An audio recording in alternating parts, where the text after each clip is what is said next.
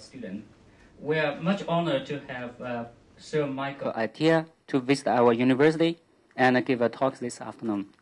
Sir Michael Atiyah is one of the most influential mathematicians of the 20th century, and he really needs no introduction. However, I would like to take this opportunity to tell our graduate students that if you get stuck with your thesis work, try to read Sir Michael Atiyah's collected works for inspiration and encouragement. And that was what I did when I was a graduate student, and it really helped me then, at least psychologically. um, Sir Michael Atiyah is an old friend of this university, and he has given quite a few wonderful lectures since he first visited us. Today's talk is about the geometry and topology of the Freudenthal magic square. He will share his new insight into the Kervaire 1 problem in this talk and the talk on next Monday. We will be very pleased but, and surprised, but not too surprised, that if this new insight of his eventually leads to an elegant solution of the Kervaire invariant 1 problem, which is so short so that it can be put on a postcard. Because he did this once with the Hopf invariant 1 problem more than 40 years ago. On behalf of Professor Lee and the Institute for Advanced Study and HKUST Mathematics Department, let us welcome Sir Michael Atiyah. So I, I did that just now. Here is an old copy of an old paper I wrote nearly 40 years ago, and I, I, I had difficulty following. I was a clever chap then, but you know, as time passes, your earlier work gets looks more and more difficult. so um, now I'm going to talk about informally about some problems which are um, well, currently being worked on, and it, it's when I gave the title, I thought, well, I'm working on this problem, so it's nice to give the talk about what you're working on, and uh, if I'm lucky, I'll solve the problem, and then I can give the results. Um, unfortunately, it doesn't always work out like that. I'm still stuck on the problem. Maybe this is the wrong way. Anyway, it's, it's good sometimes to talk about attempts which don't necessarily succeed. In mathematics, you try, and sometimes it succeeds, and it doesn't succeed, and you learn that way. Even if you fail to solve the problem, you learn something, even about your own weaknesses. So uh, this is a way of talking about mathematics that's currently going on, not yet completed, and perhaps some people in the audience can help me complete it, or give up, or go away and do it better themselves. So, as the introduction said, now this, is this angle correct?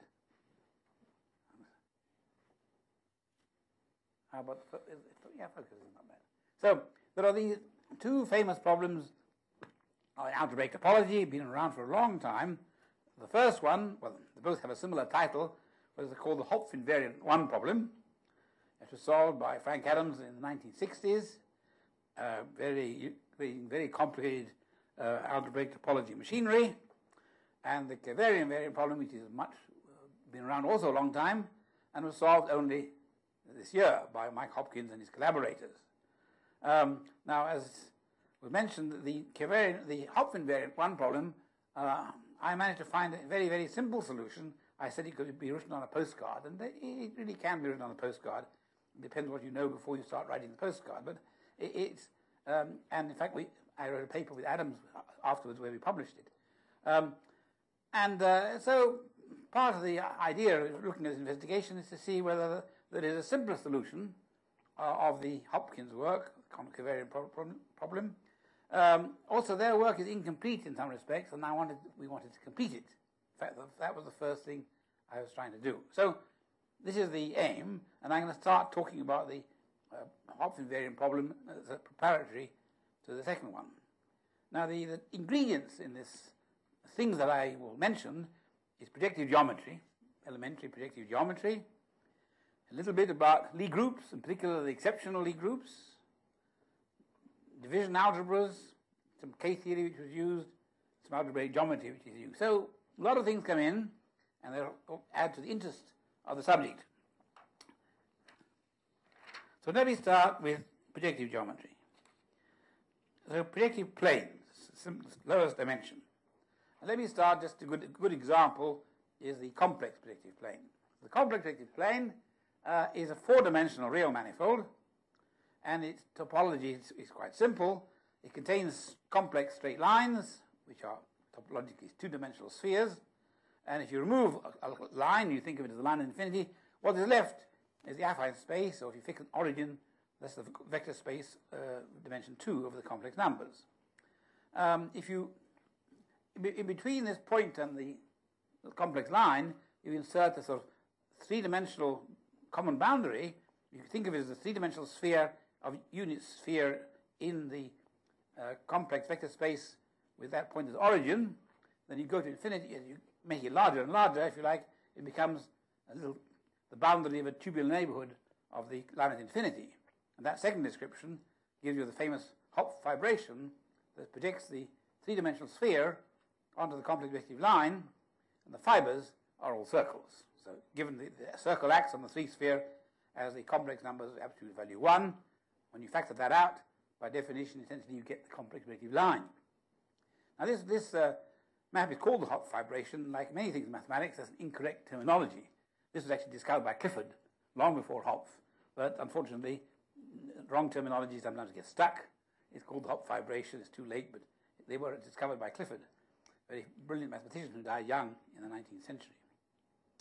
The, one of the interesting things about this fibration is you take the three, any two fibers, any two, the two points which are inverse images of two points on the two sphere below, on the three sphere, what they are are great circles. Uh, so, for example, the three sphere is a unit sphere of four-dimensional space. One equ- sort of equatorial plane will give you one circle, an orthogonal one will give you the other circle, and those two circles are linked in the three sphere. They have linking number one. You can't pull them apart. Uh, so that's a very remarkable fact. And the, the, fact that the linking number of two circles is one is actually closely related to the fact that um, two lines in the complex projective plane meet in one point.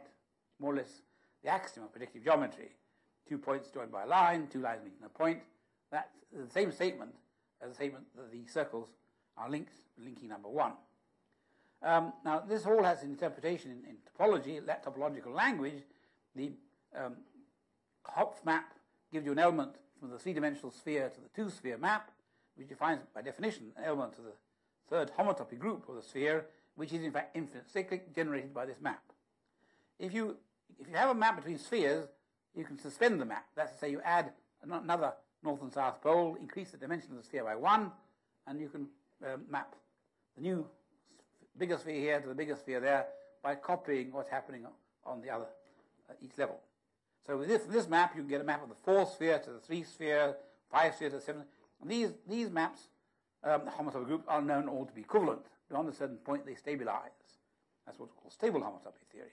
In low dimensions, they can differ, but when you keep going, and this group here is the integers, but beyond this point, they are the integers modulo 2.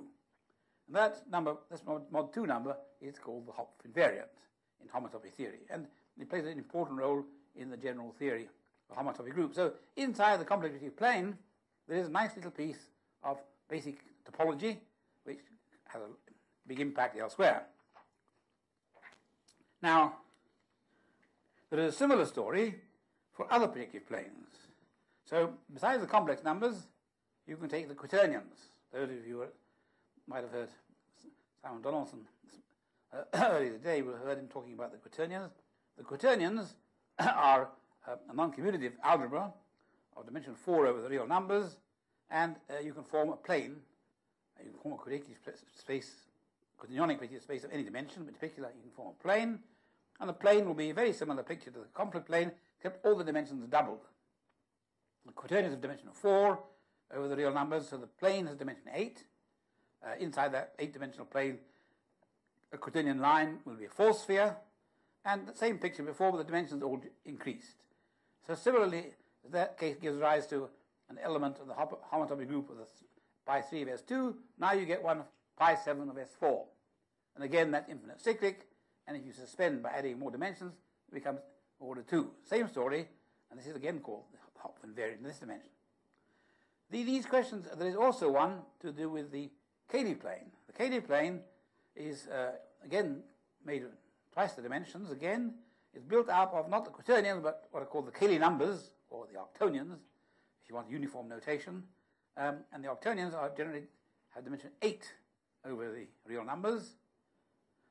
Uh, so you, you, go from complex uh, quaternionic, Cayley dimensions go 2, 4, 8. Um, the difference now is that the algebra you get is not even associative. When you go from the complex number to the quaternions, you lose commutativity. Sorry, yes, it becomes non-commutative. When you go to the Cayley plane, it gets worse. You lose non-associativity.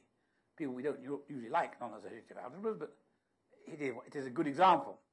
Um, one of the interesting things about the Cayley numbers is that you can manufacture the Cayley plane.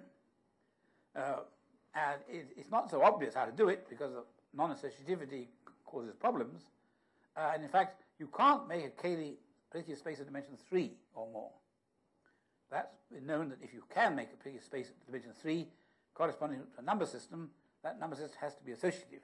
The associative law follows from being in dimension 3.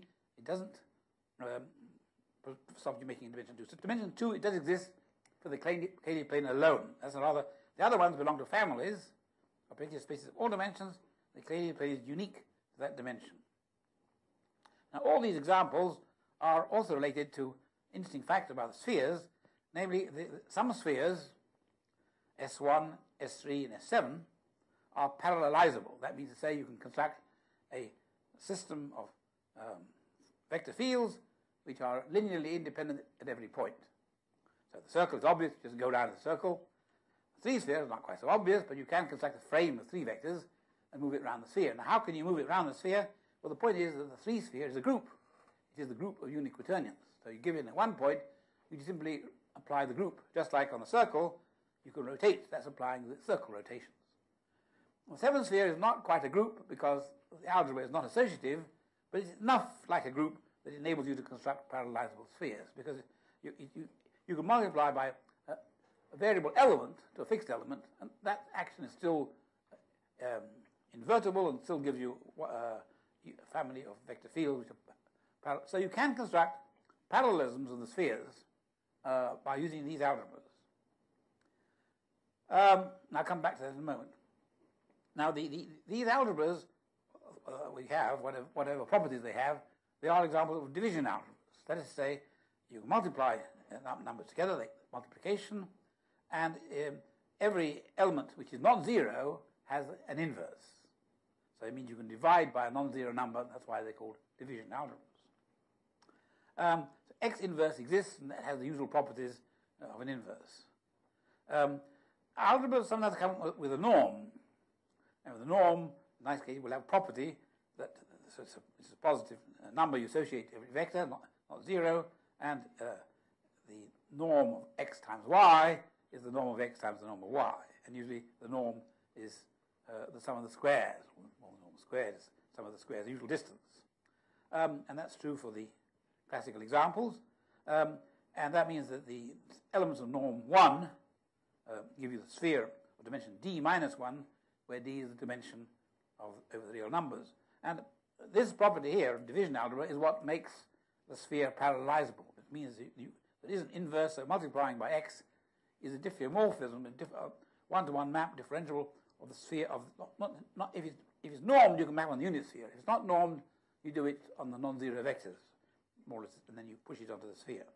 So these algebraic properties are related to the uh, topological properties of parallelizability and to uh, well, uh, and to the problem I mentioned before of the, the property of projective planes.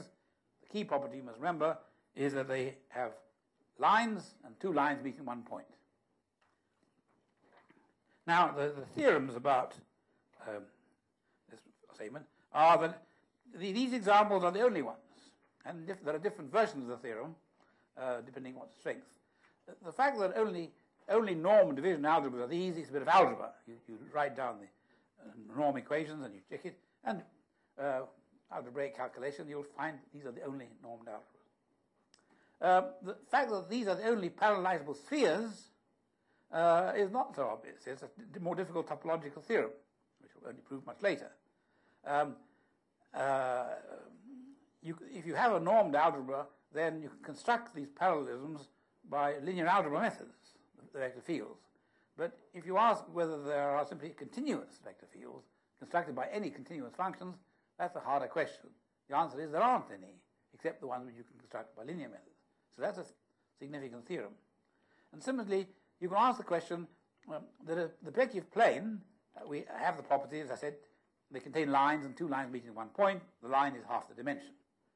And so you can look at the homology of the projective plane or the cohomology of the projective plane. It has generators in dimension 0 for a point, d in the middle dimension, 2d in the highest dimension. And the property of two lines meeting in one point, you can convert, if you like, into cohomology that says the cup squared of the element in dimension d is the generator in dimension 2d. And then you can ask, are there other topological manifolds uh, which have those properties in cohomology? But this is a question only what people might call a homotopy projective plane, a plane whose topological properties are like those of projective planes, but that you don't necessarily have geometry of lines. Some only homological properties, um, but the key property is that two lines meet in one point. Well, you can convert that into a very ver- concrete version. Take your manifold, two dimension 2D that you're looking for. You think of it as being built out of, first of all, uh, the sphere of dimension D is in the middle dimension.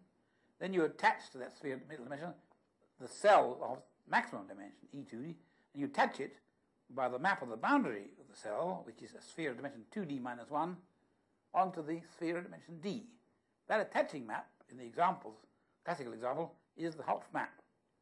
Three sphere to two sphere, seven sphere, four sphere, and so on. So the question is, can you find a map from appropriate spheres, in other words, in that homotopy group uh, I've written down there, so that what you construct here has the cohomology uh, I described generated by element x in dimension d and squared in dimension 2d. And uh, I've written only mod 2 cohomology, although it's true with integer cohomology. In the examples I mentioned, uh, complex numbers, quaternions, and Cayley numbers. But in fact, it's also true for the real projective plane, more elementary still, except there that the intersection numbers only count modulo 2, because there are orientability questions, uh, and so you work with mod, the mod 2 cohomology of the projective plane has the same structure, generated in dimensions 0, 1, and 2. The square dimension 1 is the one in dimension 2. So the, all the four planes are examples of this kind. And the question, natural question asked by topologists, are there any other manifolds um, or, uh, with this topological property? Because this is the strongest theorem of all. If you can prove that one, then you've proved all, most all other ones follow, because this is the, the strongest theorem of this type. This was the theorem that Adams proved um, a long time ago, um, and he proved it by um, very sophisticated methods. I won't go into the methods except they, they involve um, cohomology groups, the cohomology ring, and then there are what are called cohomology operations, things that uh, operate naturally on cohomology. And then these operations themselves, you can write them down as a set of generators. There are relations between them. And then further on, there are things called secondary operations, which are defined on the kernel of the primary operator. And it's a very complicated story. And he used this powerful machine, and I wrote a 100 page paper in the Annals of Mathematics, which proved the theorem after many, many years. It was a tour de force. Then a short while later, um, we, people were thinking about it other points of view, and I came up with this K-theory proof, which is goes on a postcard. Well, I put it on a transparency here, with better magnification, it could go on a postcard. Um, now, the proof requires not basic knowledge of K, K theory, but um, all the properties of K theory one needs are quite elementary, with the fun, one exception of the fundamental theorem, which is the Bott periodicity theorem. Now, I, I, won't try to. Those of you who know what K theory is will follow. Those who don't, and see at least as a short proof. Um, the Bott periodicity theorem is a famous theorem that says, in this case, that the unitary groups um, of a large dimension have um, homotopy only in every second dimension when it's even where it's integers. So the unitary group uh, homotopy dimensions 1, 3, 5, and so on. Um, and not only are they periodic, but there actually is a very beautiful structure to that periodicity. And that once you've got that theorem, then you can generate this machinery and you can construct something called the K-theory of a space, which is very similar to the cohomology, but it has additional refinement. Well, first of all, the most important refinement it has is that the K theory, which looks uh, like the even cohomology. So the space like we're talking about, it will have three generators. Um, but unlike the cohomology, it's not graded. It doesn't consist of something in dimension zero, something in dimension two, something in dimension four, or something. It is filtered. See, you can talk about things which sort of correspond to the, all the dimensions beyond a certain point. And if you have a thing which is filtered that way, then if you take one level of filtration, factor it by the next one, you'll get something graded. And the theorem is that the K theory is filtered, and the associated graded object is the cohomology ring. So it's, it contains more information than the cohomology ring, uh, in this case, um, because you can deduce the all the properties of the cohomology from it, but this filtration is a little bit stronger it, because it links together different dimensions. That's the one important difference. And secondly, it contains has some operations, which ironically are called Adams operations, uh, because Adams later on got to use these, um, although they were known before Adams. Uh, and these operations are really very simple operations. What they are, there's one defined for each integer k, called psi k, and they are operations that act universally in all the k theory k groups of any space, and they have two beautiful, well, three beautiful properties. First, they are ring homomorphisms. K theory is a ring. This preserves addition and multiplication, which is very unusual for operations of this kind.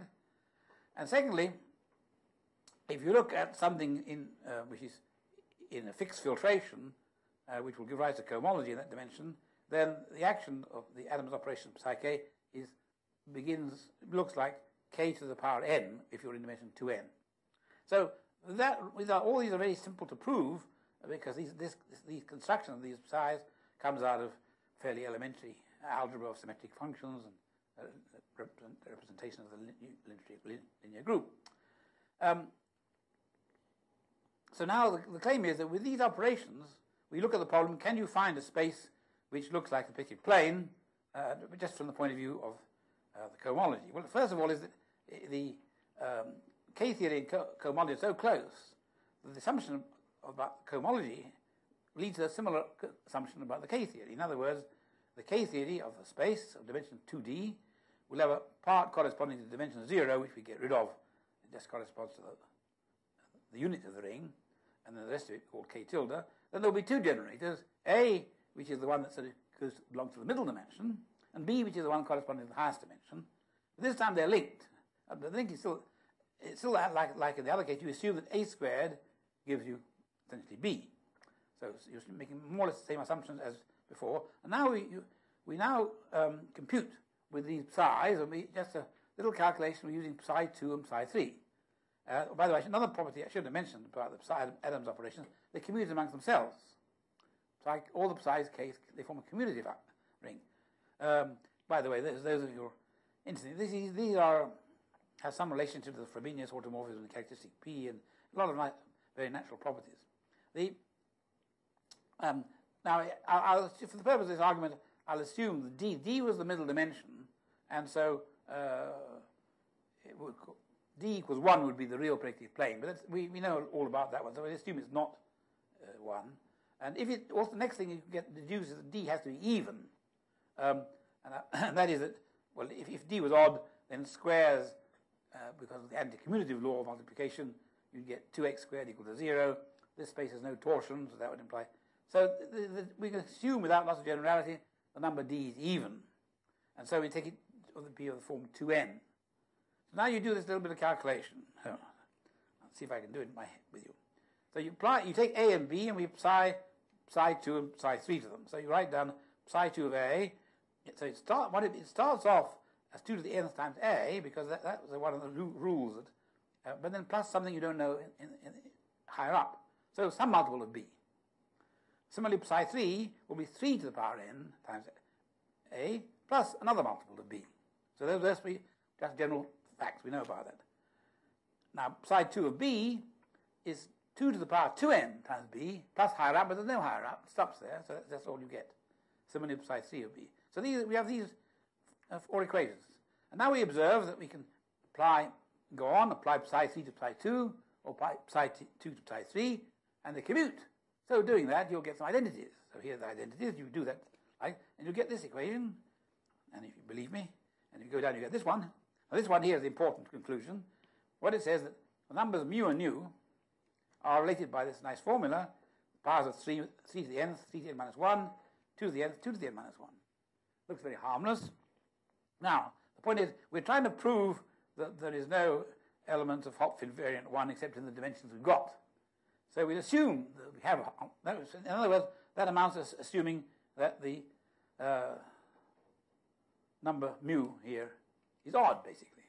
That's the one that corresponds to saying that the psi, oh, I should say psi 2 is a bit like a, a square, you see. So a, psi 2 uh, on here, this one, is the, the fact that this is to be um, odd is the statement the square of the middle generated cohomology is, is, is mod 2 equals the top generator. So mu odd is what you're assuming um, and trying to deduce that the dimension n has to be one of the numbers we know about. So you put it, plug it in. If, if mu is odd, then 2 to the nth on this side has to divide 3 to the nth times 3 to the n minus 1. Well, it can't divide 3 to the nth, so it divides 3 to the n minus 1. Now you do a little bit of elementary arithmetic, and you can deduce from this that if n to the n divides that, n must be 1, 2, or 4. Little calculation at the bottom if you want to check if you don't believe me. Uh, it's pretty clear that uh, the first few cases are all right, and one of these things grows much faster than the other, so it's impossible to have. So it's a trivial calculation from these elementary properties, and that's the postcard proof. So very nice when you can get a, a deep theorem in topology coming out of some very elementary application of a nice piece of machinery. This K-theory machinery was fairly new at the time, and so we applied it, and there, there's its application. So it's a, it's, I still think it's my shortest, best proof. Um, I mean, I think you proof shortness is not uh, not not the only merit theorem should have, but it, it's a very important one. A nice short proof is something you really uh, should focus on. Now, um, this was the preparation. This is the example we've done in the past. I don't want to get on to, get on to the, the future in a way, but in the, in the intermediate, the, the kind of halfway stage, I'm going to talk about the contents of this famous paper of mine that I just told you about, um, which uh, I was rereading. The title of the paper is called Riemann Surfaces and Spin Structures. And to tell you a bit about it because it's the introduction to the second lecture.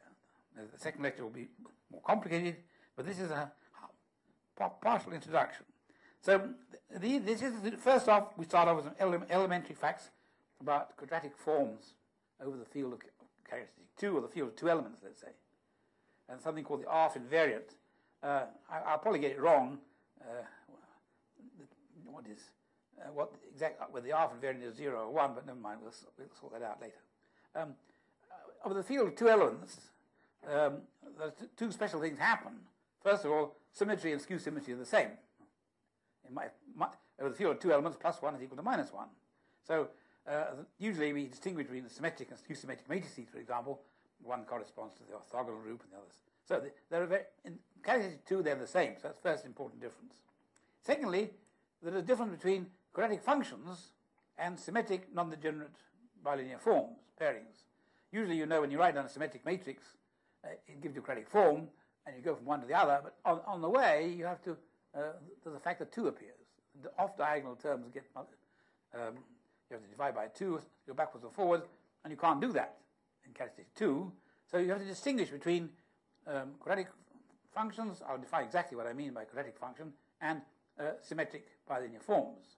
And the conclusion is, roughly speaking, that given the bilinear form, there are two possible quadratic forms, and they're distinguished uh, by what's called the Arf invariant, which by definition is zero for one and one for the other, but I'll get them mixed up. Um, now, you can define th this um, theory for, uh, for a vector space over the field of two elements.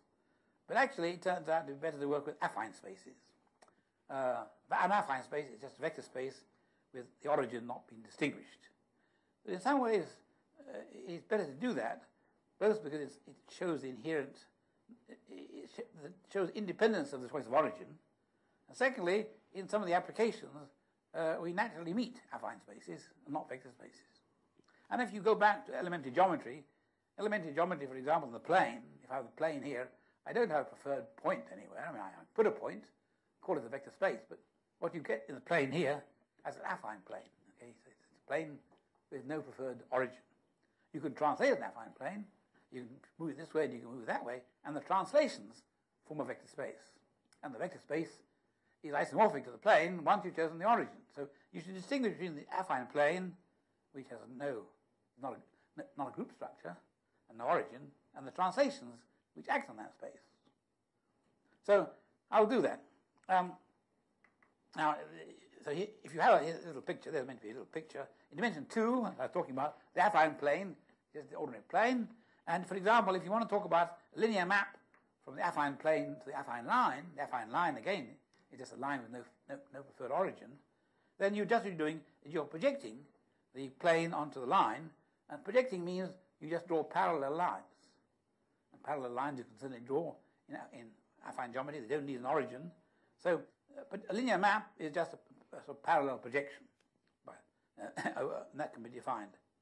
Um, over, over two points, field of two points, of course I can't draw, the picture doesn't look like that because the plane only has four points and the line only has two points. So here is a picture of the projection of the affine plane onto the affine line. You have four points and you have to map them onto the two points in appropriate linear fashion. Uh, anyway, that's, that's, that's getting us started.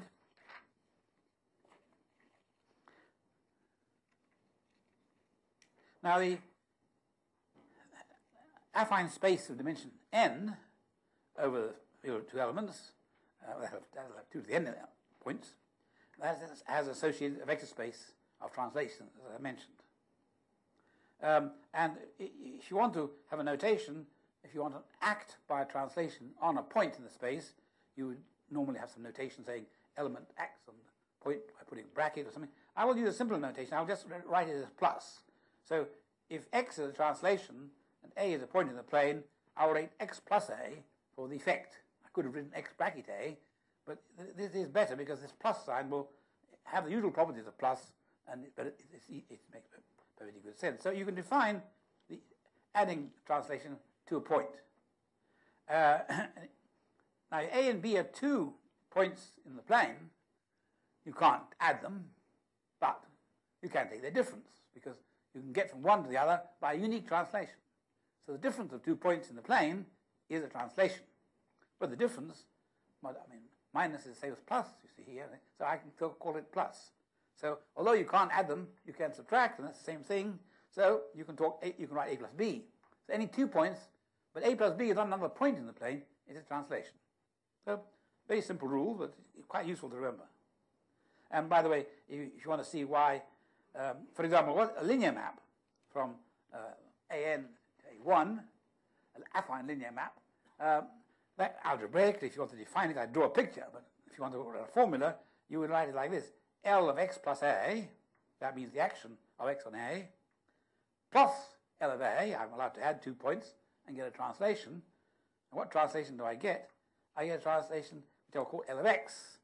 Uh, um, well, what you prove is, of course, that this number here is independent of A, so it makes sense to call it L of x. And what you define is um, um, um, a point in the one-dimensional vector space uh, derived from applying a linear map to uh, this, is a, this is a projection of vector space to a vector space. Um, and that, if you want to verify the rules here, it just corresponds to a parallelogram like this. If you've got a point A, shift it by x, and if you've got a point B, shift it by x, and these, this forms a parallelogram. So the shift from here to here is independent of A, that's what you call L of x. So you can prove all these things by drawing pictures, just going back to basic projective geometry. Um, now, let's start. The next important thing, we want to talk about quadratic functions. So what is a quadratic function? So quadratic function, well, I'll call it quadratic map. So it's a map like a linear map was a map from the affine plane to the affine n space to the affine line. Quadratic map map Q from the affine plane to the affine line. And here is the defining property of a quadratic map. So what we do, we, we apply Q to x plus A, applied to A, x plus Y applied to A, plus Q of A, or if you like, minus Q of A. And the result of that, well, how does it, does it depend on x and y separately? Well, it, it, it's equal to q of x plus a plus q of y plus, plus a, which would be what you would have is linear, but then you have this cross term, x in a product y, um, uh, x and y being two translations, we're assuming that we have a, in the space of translations a fixed inner product. And this is the cross term. So think of this as squaring. Quadratic function is squared. This squared is equal to that squared plus that squared plus the cross term. But this is defined, sorry. This is um, the bilinear form, and this is a quadratic function associated with the bilinear form. And uh, this holds in the translations on the line, which is just Z2. So all of these things at the end, end lie inside the field of two elements. Now, if you put y equal to x in that formula, uh, then you will see that things cancel out, um, and it implies that xx is 0 for all x. And in fact, if you have a bilinear form uh, field of two elements, it doesn't have to have this property in, in, in characteristic 2. And if it has that property, you call it an even form. It's only, only, only the bilinear forms with this property for which there is a quadratic function. Um, and then when, when that's the case, then this bilinear form can be put into standard form, matrix form, and you can put it into the form even number of dimensions. You have a unit matrix in the area there, and this is something called the Lagrangian subspace.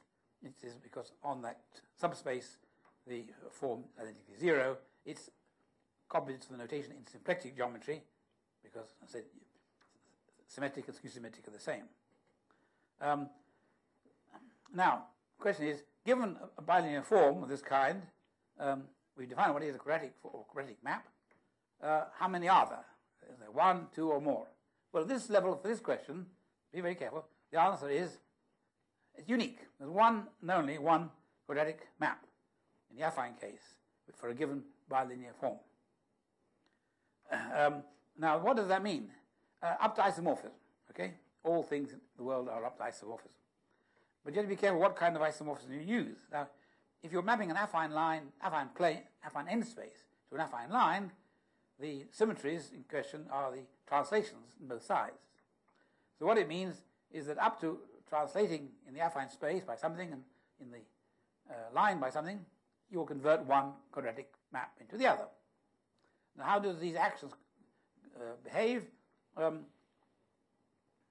well, I think you can write the formula down. You have to be careful. There are two actions, one of which is the translation on the uh, affine space, and you can apply the, the quadratic map then. Then after that, you're in the image space, and then you can shift it there too. So you apply it left and right, if you like. The actions are two different um, translations, the translations of the line and the tra- translations on the original space. Now, although there is a unique, unique quadratic map, uh, the important thing is this quadratic map, which maps you, don't forget, into the um, affine line over the field of two elements which have just two points. Don't, don't call them 0 and 1 because they don't, you haven't chosen 0 yet. There are two points. And in fact, you can translate one into the other by adding 1. It's a translation. Um, and the answer, but it is true that this quadratic map, uh, you can look at the two, the inverse images of these two points. They are given, if you like, by the equation q of x equals something, q of x equals the other one. And so those you could be thought of as affine quadrics. They're quadratics given by equations. And th- these two, important thing is, they don't have the same number of points in them. The total number of points in affine n space is 2 to the nth. But these two quadrics have to share, share the point between them, and they don't share them equally. One takes more than the other. And the two numbers in fact are, I think I got it wrong here, uh, too many, yeah. Um, the number of points is 2 to the mth, if my notation is correct. And what you get is 2 to the m minus 1. And here you have 2 to the m minus 1 plus 1 2 to the m minus 1 minus 1. If you add them together, these cancel, and you get all together 2 to the mth points. Is that right? Yes, that's right. So the, the, there is this difference in cardinality, and therefore the two things are, are different. Um, now, that means that um, if you actually don't want to, don't, you want to fix down the origin in the, in the affine line, uh, and distinguish 0 and 1, then the two quadratics will be different.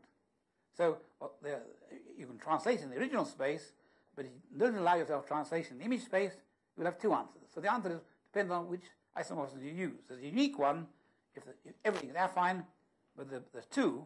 And so I'll distinguish a quadratic function from a quadratic map. Quadratic map maps you onto a line, quadratic function maps you into the field. In the field you have zero, and so you can distinguish the two quadratic functions by asking how many, what is the cardinality of the points which go into zero or one. And those, those, are the two quadratic functions, and the Arf invariant distinguishes between the two. Now, their this theory goes back to a Turkish mathematician called Cahit Arf, uh, and he decided which was, which was zero, which is one, and I, I, I found I was getting them mixed up, so don't, don't let's worry for the moment. The important is there are these two different quadratic um, functions, and they have different numbers of, zeros. That's the important point. Right. So this, I was making heavy weather of it because I wanted to use the affine spaces, not just the vector spaces, but the payoff comes when you come to apply it. You'll find it later on that pays, pays off. So here I'm just summarizing what I said. Given the quadratic form, the bilinear form, there are two quadratic functions, and they distinguish by the number of points in the image of 1 or 0, uh, and one of them is Arf invariant 1, one of them is Arf invariant 0, and I think they're the wrong way around, but let's not worry just now. Uh, and so the, this is what I was just saying, tra- up to translation in affine space, these are the two possibilities. If you translate in the image space, then you're allowed to shift zero. Then you go just you replace q by, by q plus one. That changes from one to the other. So then, of course, you interchange these two. But if you want, if, if the image space is definitely a vector space, then you have distinguished um, cho- choices. Now, so that was just to summarize elementary properties about quadratic forms, quadratic functions um, over the field of two elements. And there is this nice little story. Now, now I want to introduce the Riemann surface story, which is the content of this paper of mine. Um, so, and this is a very classical theory in its own right. It goes back to Riemann himself, I think. So, not, not, not just the theory of Riemann surfaces, but the, the problem I'm going to talk about. The Riemann surfaces, well, we have a Riemann surface, uh, let's say xg of genus G, the thing with G holes. Um, the cohomology of uh, the Riemann surface in dimension 1 with mod 2 coefficients is a vector space over the field of two elements with a bilinear form given by the cup product, uh, and the, the rank of this dimension of this group is 2g. Um, notice also that the first cohomology with about two coefficients is the same as mapping of the homomorphism of the fundamental group into the group of two elements. They give you rise to flat line bundles of order 2 on the Riemann surface. And if you fix, if you fix a complex structure on the Riemann surface, the Riemann surface at the moment, first of all, is just topological. But if you fix a complex structure, then a flat line bundle of order 2 becomes a holomorphic line bundle of order 2. a flat line bundle here is a real number, you complexify it, and you get a holomorphic structure. And so the, the holomorphic line bundles um, order 2 on the Riemann surface are well, traditionally they're also related to divisor classes of order, order 2, and there are exactly 2 to the 2, 2 to the 2g of them. So the, the uh, now the, on the Riemann surface it is of course the canonical line bundle. That's the line bundle corresponding to the canonical class. Its degree is 2g minus 2, uh, and you call it the, the, points give you what's called the canonical uh, divisors. Um, now, this number is even, 2g minus 2, and therefore, it's topologically possible to extract the square root to find a line bundle whose square is this one. The line bundle will have degree g minus 1. So suppose you consider a square root of this, call it L, and now I ask how many square roots there are. But if you go to the point of view of divisors, it's like asking, taking a canonical divisor and taking half the canonical divisor, finding a divisor half as many points. And you ask how many divisor classes there are. Now, the set of all such square roots up to isomorphism, if you've got a square root of that one, you can multiply by a square root of 1, if you like, by divisor of order 0, uh, 2. And that gives you another, another solution. and all the solutions are obtained in that way. So in other words, the set of line bundles of order 2, which is effectively is the first cohomology group, um, acts freely and transitively on the space of square roots. So the space of square roots is naturally an affine space whose corresponding vector space is this group here. There's no distinguished square root, but once you've got one, you get all the others by just tensoring with a, uh, a line bundle of order 2. So you have a very natural example of an affine space um, of this uh, over the field of two elements with H1 as the space of translations. Now we have a, th a theorem. This theorem, say, goes back to Riemann in one form or another. Didn't talk about line bundles, but he talked about divisor classes only. There's the following.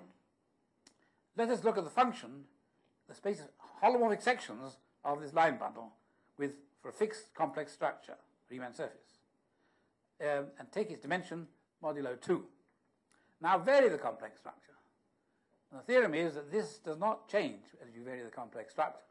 It depends only on the topology. Um, and what it is, this function, modulo 2, is a quadratic function on the set of square roots uh, with, well, I think that's the wrong way around, but what an important thing is a quadratic function that we, we know when it takes the value 0 and 1, which one corresponds to the uh, bigger one and which corresponds to the smaller one. So we can, we can work out which one it is. But it is a quadratic function of the type we're talking about, and it naturally occurs on the affine space, and it depends on no choices. You see, if you, if you work with vector space, you've made some choice, you have to show it independent of the choice. This is naturally given as the dimension of the space of sections. Now, you, you, if you take a Riemann surface and look at such a square root, then generic Riemann surfaces, the dimension uh, may be 0 or 1. Either it has a section or it doesn't have a section. It doesn't usually have more than one. But if special ones, the dimension actually may be bigger. Uh, for very special ones, it may be large. So it, if it's 1 originally and you vary it, it can be next one, it can jump to 3, it can jump to 5. But it can't uh, change odd to even. So that's the theorem which, say, goes back to Riemann. In fact, this paper has an interesting origin because David Mumford was studying this, the subject, looking at it from a modern point of view, and he asked me, uh, he knew what I'd been doing, he asked me if I could somehow see how to put it into modern language and give a modern proof. And that's what I, this paper was about. So here is a sketch of the proof. Uh, it's a sketch because I didn't have time to read the paper in full before I gave the lecture. And anyway, it's not, you can't give it all in a few minutes. But pretty, the idea is pretty simple. And the idea is that the, um, we put this into the context of index theory of elliptic operators. Now, that's a big mouthful to take all at once. But uh, the important, first of all, the following observation. Uh, a spin structure on a Riemann surface, um, well, I, I, talked about the square roots of the, of the, canonical line bundle. And the statement is that this is the same as the set of spin structures. A spin structure on a manifold is when you lift the structure group of the tangent bundle from the orthogonal group, special orthogonal group, to its double covering. Then once you've chosen that choice, you have a spin manifold. And the advantage of a spin manifold, for example, is that you can talk about spinor fields. Physicists always do. The universe has to be spin manifold for a physicist to begin. Um, so you have, and on, on the spinor fields, you have the Dirac operator that Dirac introduced. So spin manifolds are nice because they have this fundamental operator, if you choose a metric, the Dirac operator. Um, now, depending on the dimension of the space, the Dirac operators have different properties. If the dimension of the space um, is, um, well, depending whether working with real or complex, it, it, let's say, to be safe, divisible by 8, then the Dirac operator has an interesting index, which is a topological invariant, which is a formula, or also divisible by 4. Um, but in dimensions which are, for example, 1 and 2, mod 8, uh, it, it, doesn't have that property. There is no, the operator is not, does not have an index because it's a self-adjoint operator, something like that. But in dimensions 1 and 2, there is a mod 2 invariant, uh, which is, is, plays the role of an index in the following sense. The index theory is related to K theory, which is related to the Bott periodicity theorems. The Bott periodicity theorems are about the homotopy groups of the classical groups. The complex case leads you to the unitary groups. The real case leads you to the orthogonal groups. And the orthogonal groups has its homotopy groups are periodic with period 8, Uh, and the period, there are two Z2s, two groups order 2. Excuse me. Um, every fourth one is integers, and there's some zeros. They, they have a very simple origin. The first Z2 comes from the two components of the orthogonal group, distinction between oriented and unoriented. The second Z2 comes from the difference between the orthogonal group and the spin group that I'm covering. and it's the second one that's relevant in our case. So in dimensions uh, mod 2, a spin structure allows you to introduce the Dirac operator. and then if you look at the space of solutions of the Dirac op- operator, that's a finite dimensional space on the manifold, its dimension, as you vary the metric, can jump around, but its parity does not. The, the, the, the parity does not change, and that's called a mod 2 index. It's related to the mod 2 in the periodicity theorem. Uh, and roughly speaking, it arises from the following fact. Uh, the, the Dirac operators in these dimensions are uh, something like self-adjoint or skew-adjoint. And uh, the index compares an operator with its adjoint. But if the operator is self-adjoint or skew-adjoint, the operator and adjoint have the same number of solutions, so the difference will give you nothing. But if you look more carefully, when the operator is, for self-adjoint or skew-adjoint, it will have eigenvalues. And as you vary the background metric, the eigenvalues will, can move around in general, so the zero eigenvalue can jump. But what happens is that in the case of these, for example, uh, self-adjoint, the operators come in pairs, uh, 1 plus 1 minus 1, and when they go to 0, um, they both go to 0. So if, if you increase the 0 by 1, you increase it by 2. So for that reason, mod 2, the parity, uh, is topological, doesn't depend on the metric. So this is a very nice, subtle point about the Dirac operators, which lead you to mod 2 invariance. It, it's, not an, it's not an invariant that you can calculate very easily. Um, you have to solve some problem, but it, what you do know is that it's topological. Uh, and it's defined on the set of spin structures of any manifold of dimension 8k plus 2, you have such a story. It's particularly simple with the manifold of dimension 2.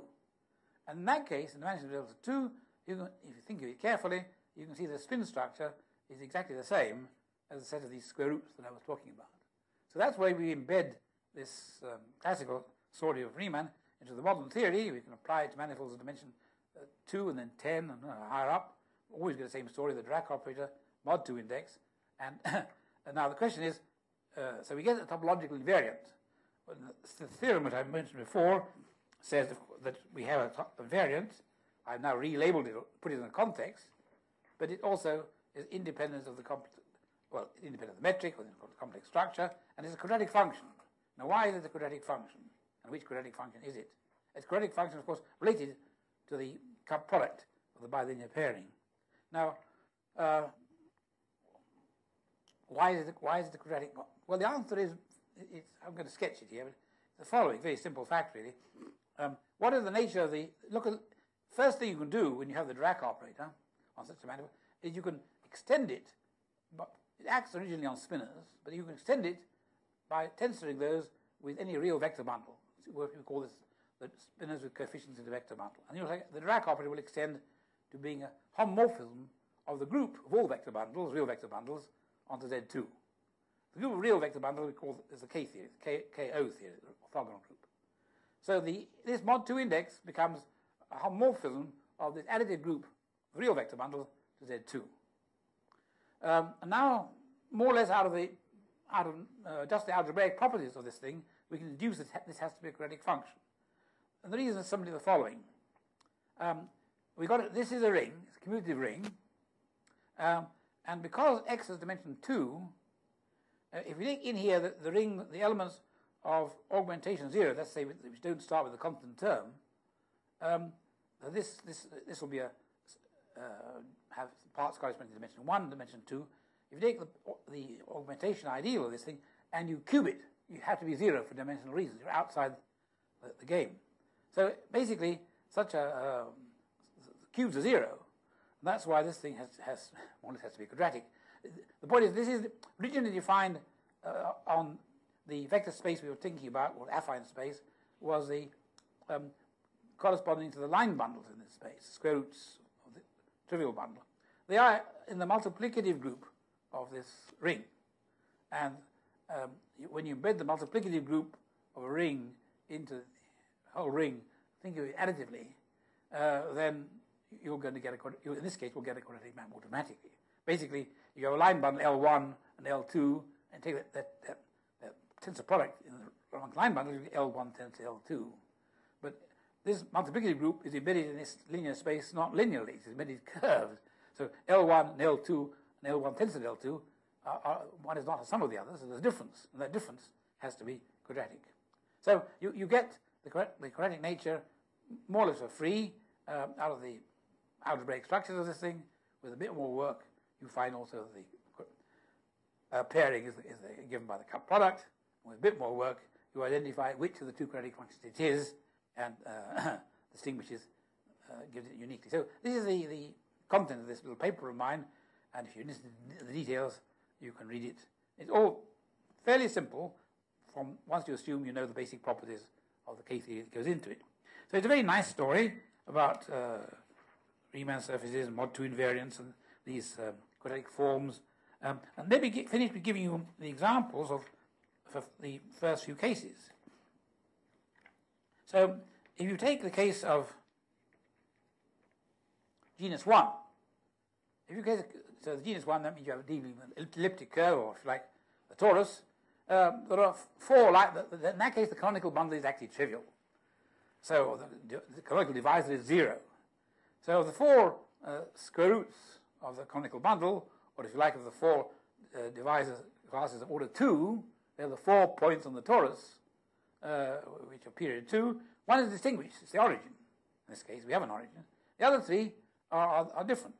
And this, this division of 4 into 1 plus 3 is that unequal distribution uh, we had before in the general case.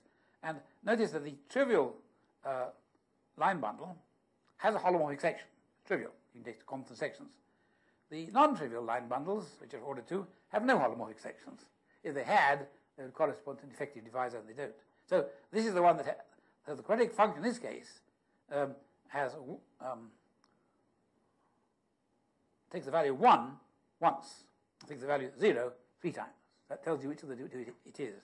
If you replace the quadratic function by q plus one, you can switch them around. They, they take a more interesting example, genus 3.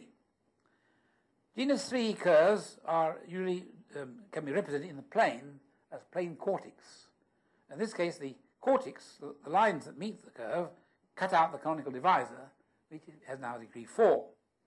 And so, if you have a line in the plane that is a bitangent, that means it touches the curve at two points, it's called a bitangent, then the two points counted with multiplicity 2 belong to the canonical system. Therefore, the two points without with multiplicity 1 is half the canonical system.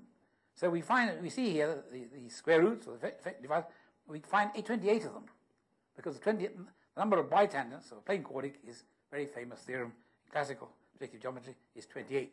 28 is a very beautiful number. You know, you, it's, it's, related. It's related to the exceptional group E6, all sorts of other interesting things. Anyway, it, it, you have 28 bitangents. And by the way, uh, Total number of points in this case is, is right part of 2 64. So the two numbers in question are 28 and 36. 28 is the smaller of the two. Um, and the, the, the, bitangents, they arise because the canonical, um, this, this half the canonical divisor has, has two points. That means there is a cross section of that line bundle with two points. That means it, it, there are holomorphic sections. So there again, this one has holomorphic sections, and the other ones or don't, or at least this one has even odd number of sections, the other one has even number of sections. So this is the quadratic function takes the value one on these 28, uh, as it did in the other case. So the, in general, the quadratic function gives you the value one on the smaller subset and the value zero on the larger subset. Whatever Arf said, that, that's all you need to know. Now, so, uh, so this is a very classical, beautiful uh, theorem which gets uh, included and gives you a feeling of what these um, this division of these two things is. And they, they're rather nice things. Um, one last observation, and this also applies to the generalization I talked about, is this mod 2 invariant of the square roots. Um, think of these square roots as being spin structures. Um, it, it is a spin, it defines you makes a spin, if you choose a point in here, it gives you a spin structure. It makes a manifold a spin manifold. So every Riemann surface is a spin manifold, but in many ways. Um, and this quantity, mod, integer mod 2, is actually an example of a spin cobordism invariant. In other words, if you take a Riemann surface, a surface, and if it bounds a three-dimensional manifold, for example, take the torus, take the interior, or any, any, any surface and fill it in, you have a three-dimensional manifold with that boundary. Now, on the boundary, if you've chosen uh, such a square root spin structure, you could ask whether that spin structure extends to the interior. It doesn't automatically have to do so because there's a bit of topology involved. Okay? But if it does extend, that picks out the spin structures that bound. Uh, and other spin structures will not bound. It, it, and so the theorem is that this is a spin cobordism invariant. That means it will vanish on those which bound. And so, in general, if two things bound the same thing, give the same answer. And spin cobordism invariants are, are, are important as other other other um, cobordism invariants, different kinds, ordinary orthogonal group, unitary group. The spin cobordism invariant is slightly more subtle. And this is a spin cobordism invariant. Um, and you can check, it's not entirely trivial, but if you take a torus, then we have these uh, four square roots, or four choices of S on the torus, one of which is the trivial uh, line bundle, and the other three are the non-trivial ones. And you have to check which of these extends to the inside topologically and which doesn't. And the answer is surprising. Uh, why, well, it's not the one you expect. What's the one you expect? Well, uh, you'd think that the trivial line bundle would extend inside. Um, but you see the trivial line bundle, the value of this quadratic function is 1. So it doesn't, it doesn't extend inside. That proved it. But you, you want to, very, but the other ones do extend inside. It's uh, actually the even more primitive or surprising version of this which this can be deduced. If you go back to the circle, there's a similar story on the circle with spin structures on the circle. Again, there are two spin structures on the circle, and one of them extends inside, and the other one doesn't. And again, it's the it's, it's the spin structure on the circle corresponds to double covering. Either double covering disconnected or it's connected. And one of those extends to the inside, and the other one doesn't. So th- there are some nice, nice subtle features related to spin invariance, and these actually will play a role in the my second talk because I'll be talking. Well, and I could say here, here and now, the um, uh, when I talked about the different versions of the Hopf invariant one problem, I mentioned a number of different bits of geometry. Um, one of which was about the existence of certain kinds of manifolds, and the other was about uh, elements of homotopy groups of spheres. And there is a general uh, theory, which we'll, I'll talk about next time, which relates homotopy groups to manifolds and uh, what are called framed manifolds. And, and so manifolds enter into the theory of uh, homotopy, and things like spin cobordism are part of that theory of manifold, which is related to part of the theory of homotopy. So anyway, this was the first uh, lecture, which is, was a sort of warm-up, introductory. This is, this is stuff uh, I know, or at least I used to know. Um, uh, and it has, I, have just told you, well, I, I, included for you the quick proof of the Hopf invariant one problem. I've talked to you about the relation with Riemann surfaces and spin structures, classical algebraic geometry, um, and that sort of build up to the next one, which is going to be um, have similar features but more complicated, where a lot of things are unknown. And because a lot of things are unknown, um, I, am going to be talking about not just the Hopf invariant one problem, um, and not just about the projective planes here, but by, about a larger collection of spaces uh, called this magic square, uh, which the projective planes that we mentioned here form the first row. It's a 4 by 4 square, so it's symmetric. There's four rows, four columns, and the first, and they have dimensions which are all going up by powers of two at every step. So the first row, the, the real, projective plane, complex projective plane, quaternion projective plane, Cayley plane, have dimensions 2, 4, 8, 16. Coming, then you next row, everything is doubled. Next row, everything is doubled again. Everything oh, again. The last one in the right-hand corner has dimension 128. So there's a beautiful collection of manifolds whose dimensions are all powers of two, which sort of, in some sense grow out of the planes, and they are, uh, well, hopefully related to this Hopf invariant problem Uh, that's, that's the conjecture. I mean, I'll explain what, what it, in what sense they're related, but whether or not they're related, I'm going to tell you about them. Because they're rather fun. Some of them are turn up in other places as well. And one of the things is they bring in the exceptional Lie groups uh, in a very beautiful way. That's why they were first, magic square Freudenthal was first introduced.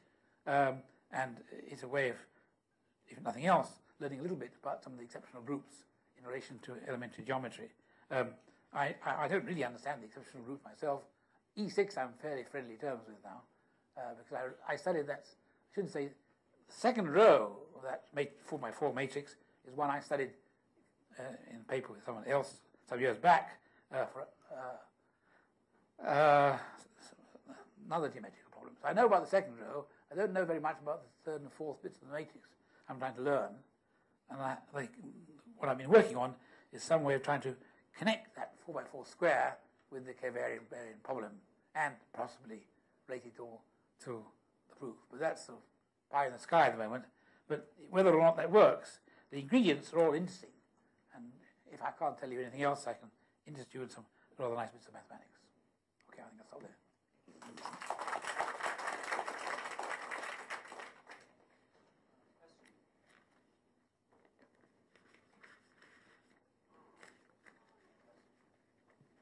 No questions? You want to, maybe I should ask you the question. You understood everything?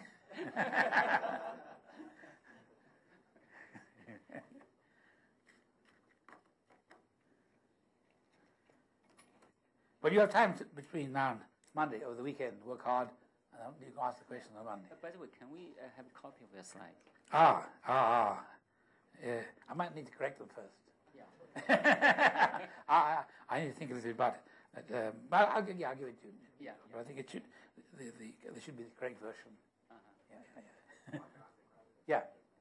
So, uh, so for this uh, uh, Riemann surface with different spin structure, Yeah. right? You have this function, quadratic function. Yeah.